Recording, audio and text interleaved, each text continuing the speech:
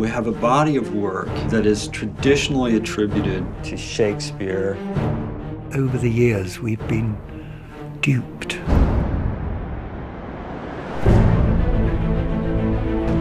If Shakespeare didn't write Shakespeare, then who did? It's a legitimate question to ask.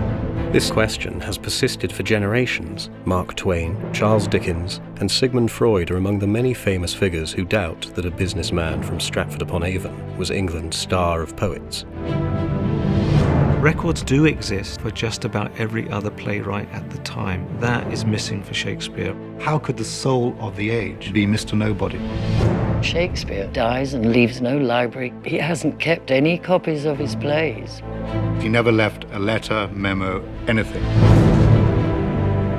The life and development of a genius may be incomprehensible to us mere mortals, but it shouldn't be untraceable. If you want to find Shakespeare, look through his works. Shakespeare biography is 5% fact and 95% fiction. The public buys it and the publishers put it out there.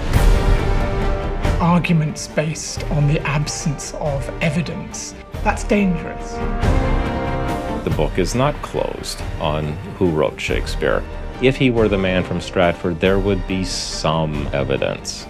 That there is none speaks volumes. Readers who want to look beneath the surface will realize it's a hoax.